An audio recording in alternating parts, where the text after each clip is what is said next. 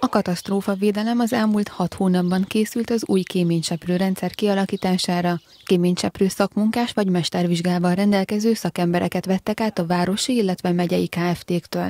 Az új szervezet július 1-től működik, indulásakor országosan összesen 414 szakemberrel indult.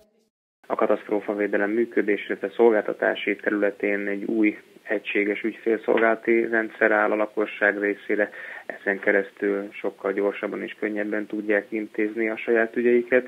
Nem mellesleg egy nagyon fontos változás az is, hogy szolgáltatótól függetlenül, tehát ott is, ahol a korábbi közszolgáltatók végzik ezt a tevékenységet, és ott is, ahol a katasztrófavédelem kéményseprőipari szerve díjmentessé válik a lakossági sormunka. A szakmunkások és mesterek egyaránt a piaci átlagnál magasabb fizetést kapnak ezentúl, valamint új felszerelésekkel és korszerű eszközökkel dolgozhatnak. Az ingyenes lakossági sormunkát ezentúl 15 megye 1835 településén végzi majd a katasztrófa védelem. Szabolcs-Bereg megyéből összesen 32 embert vettek át, Nyíregyházáról 21 kéményseprőt és 4 irodai dolgozót. A változások elsősorban a lakosságnak kedveznek.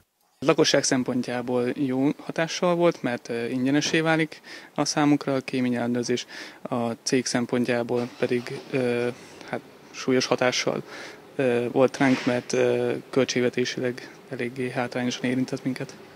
A kéményseprőipari Kft. térségi kirendeltségének feladata maradt a szabolcs bereg megyei közületes kéményekkel kapcsolatos ügyintézés, valamint a Hajdubihar megyei kémények ellenőrzése.